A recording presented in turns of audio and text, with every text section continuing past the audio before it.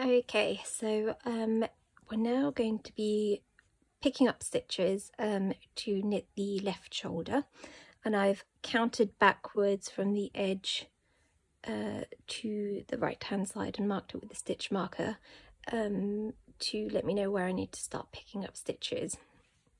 Um, so what we need to do, we need to actually pick the stitches up, not in the stitches themselves, but between two stitches. So we can see these stitch, these are the stitches going upwards. So we're looking at it obviously upside down. Um, and we don't want to be picking up in here. We want to be picking up between the stitches. So can you see this is a stitch going up and where I've got the stitch marker that's the space between two stitches. So this is where the first one is going to be. I'm going to be working from right to left, picking up the um, stitches that correspond to um, the shoulder that of, of the size that you're knitting in.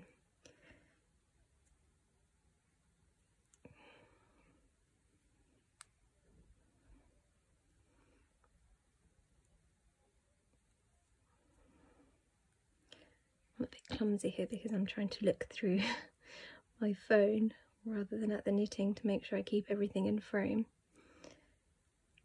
Okay, so we're going to knit, sorry, we're picking up these stitches and then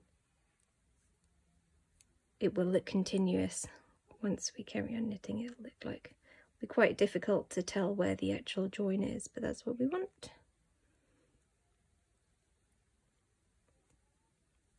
So we're going to go all the way to the end now. Um, I'm not going to film myself doing all of this because it's pretty straightforward now.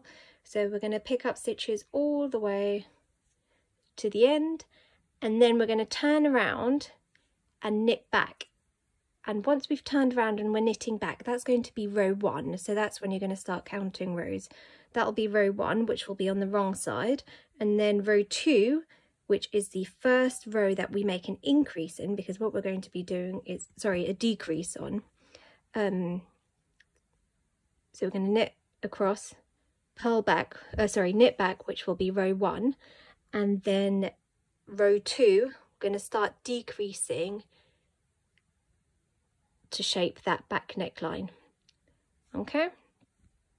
So that's pretty self-explanatory in the pattern, I think. I've never had any people with uh, difficulties in that. It's normally this shoulder section that people find difficult to understand. Um, so I'll come back um, and show you the next part that people find tricky. Well, that I've had some queries about, which is when both shoulders have been knit and we start joining the um, centre front.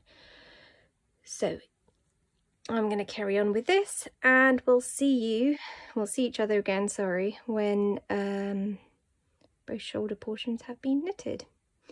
Thank you. If you have any questions, guys, just uh, drop me a DM or an email. It's katandleni at gmail.com and I'll try to always get back to you as quickly as I can, um, circumstances and children permitting.